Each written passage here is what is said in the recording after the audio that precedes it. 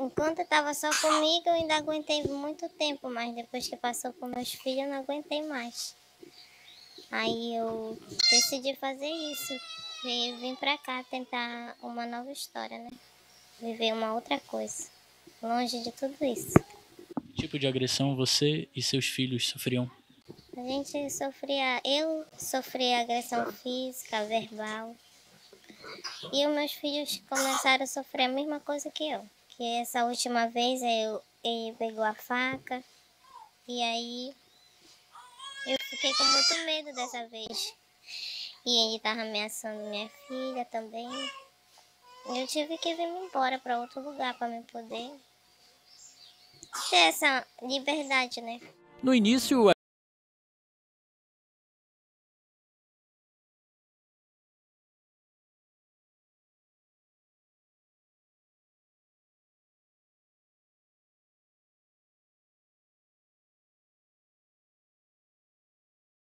o apoio de pessoas e conseguiram um espaço para morar na cidade. Eu recebi meu benefício do Bolsa Família e paguei o ônibus para mim vir para cá, né? Aí cheguei aqui assim.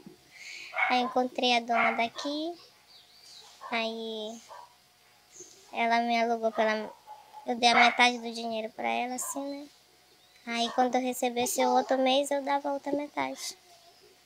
Que eu tinha que guardar um pouco de dinheiro para comprar alimentação para eles. A família hoje se divide com apenas uma cama, esse ventilador preso à parede e um espaço para atar a rede.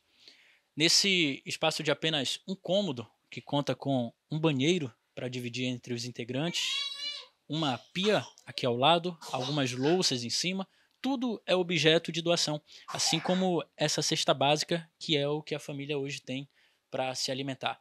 Eles não trouxeram muitas coisas na bagagem, mas uma delas é fundamental: a esperança de recomeçar a vida. Eu quero ter um lugar melhor para me viver com eles, né? Longe de toda essa agressão, essa, essa perturbação que a gente tinha. Arrumar um serviço depois que... e seguir a vida. A dona do imóvel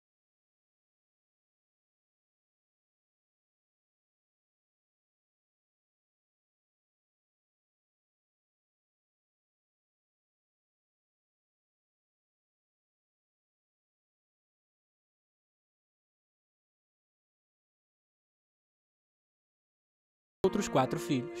Ela tá com pneumonia, mas eu não pude ficar internada com ela porque não tem como eu deixar os outros com ninguém.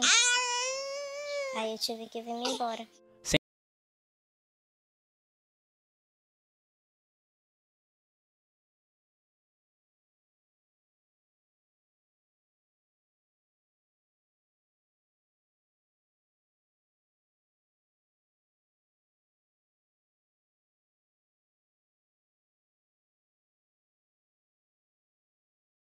Dos cinco filhos.